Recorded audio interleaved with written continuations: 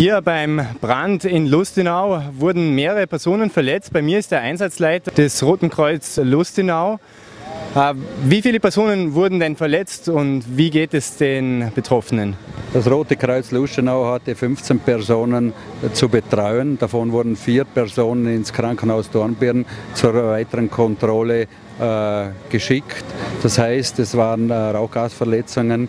Wir waren mit, mit 18 Personen, zwei Notärzten und vier Fahrzeugen vor Ort und äh, haben im Moment noch die Aufgabe, zum, beim Brand zu bleiben, da noch drei Wohnungen geöffnet werden müssen und wir erst abrücken können, bevor, wenn absolut sicher ist, dass die Wohnungen leer sind und nicht noch sonst was passieren kann.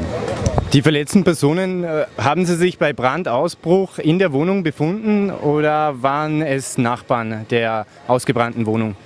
Eine Person war direkt äh, also im Brandobjekt drin und die anderen waren Nachbarn, Nachbarwohnungen. Kann man etwas über der, die Schwere der Rauchgasvergiftungen bereits sagen? Kann ich im Moment leider nicht sagen. Das ist ärztliche Sache, das ist darum abgecheckt worden, wird abgecheckt im Krankenhaus in Dornbirn. Sind ähm, die Personen gleich gefunden worden oder bei der Kontrolle der Wohnungen der Feuer, durch die Feuerwehr wurden noch weitere Personen im Gebäude mit Rauchgasvergiftung gefunden?